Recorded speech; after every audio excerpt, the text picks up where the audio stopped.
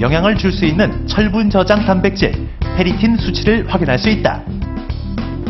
상태가 안 좋다고 하더라도 치료 방법이 있으면 좋겠고 일단 궁금했었거든요. 지금 상태가 어떤지 받고 나니까 후련합니다. 예.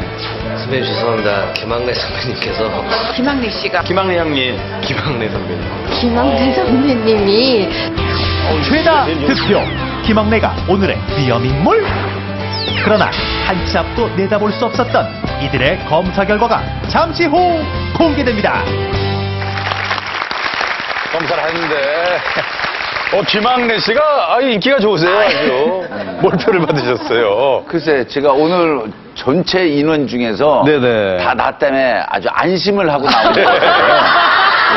어, 근데 지금의 상태를 다 감안해서 제가 랭킹을 매기기 때문에 뭐 마타는 모릅니다. 당상처럼 사실. 지금 다른 분들이 아주 편안해 그렇죠, 하시는데 그렇죠. 우리 지금 그러면 즉 보시기에 가장 건강해 배는 두피는 누구인 것 같으세요?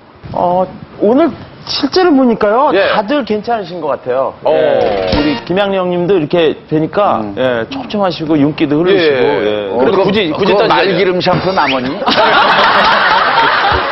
말기름 웬만한 거 다 갖다 쓰시려고 막내인 태양 씨가 봤을 때는 어때요?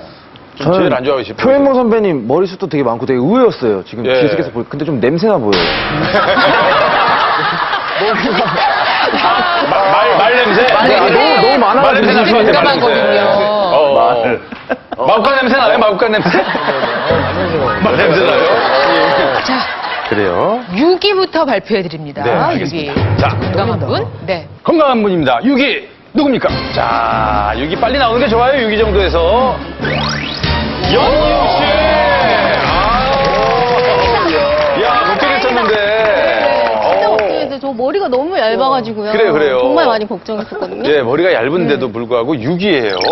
그 연지우 씨 같은 경우에 보면은 그 전체적으로 봤을 때 모발 분포나 앞에 헤어라인 뭐 전혀 이상 소견이 관찰되지 않습니다.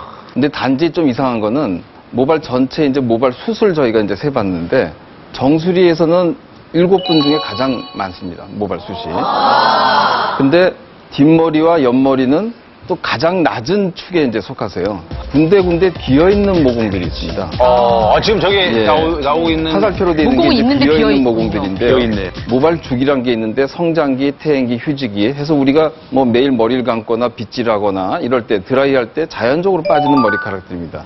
특히 여성분들은 이제 머리 뒤로 묶어 보면 본인이 이제 손에 들어오는 그 양이 부피감을 이제 예. 아세요.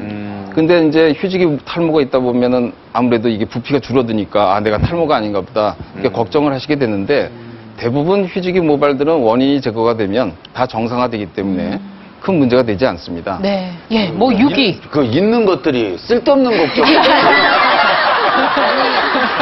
알려주세요. 아, 오늘은 예민합니다, 좀. 예, 예민한, 예민한, 예민한 아니, 시간인 지금 만큼. 걱정하고 건강하고 유기인데. 6위면 뭐. 활짝 웃어주세요. 예. 그럼 어떻게 몇 위부터 그래요. 조금 이야기를 해볼까요? 몇 위부터? 한 4위 이하부터는 좀 그렇죠. 얘기를 좀. 뭐 그러면 표정이 같은 동경시에서 그렇죠. 아, 자, 알겠습니다. 5위 가겠습니다. 자, 5위. 누굽니까? 자, 5위는. 상추!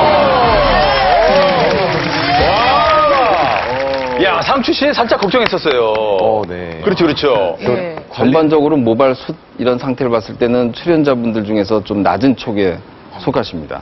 실제 이제 자세히 저희가 관찰을 해봤더니 모발과 모발 사이에 아주 가느다란 모발, 흔히 이제 연모라고 얘기하는데요.